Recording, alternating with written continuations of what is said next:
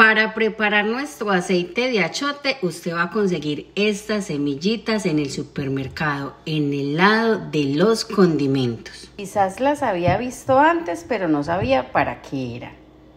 Son de color rojo y duritas.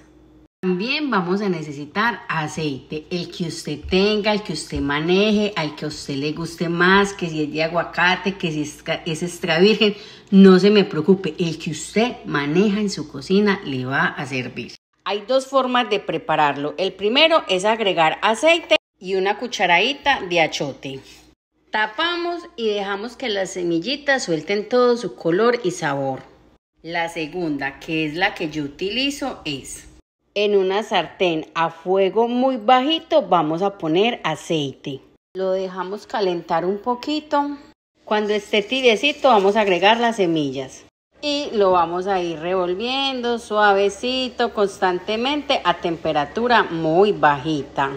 Ay niñas, que el aceite no se puede calentar porque es malo. Listo, le enseñé las dos opciones. Usted toma la mejor decisión. Aquí podemos ver cómo el aceite ya cambió de color. Dejamos que se enfríe y lo envasamos en una botellita de vidrio sin las semillitas. Envasamos. Listo el aceite achotado, así les debe quedar bendiciones.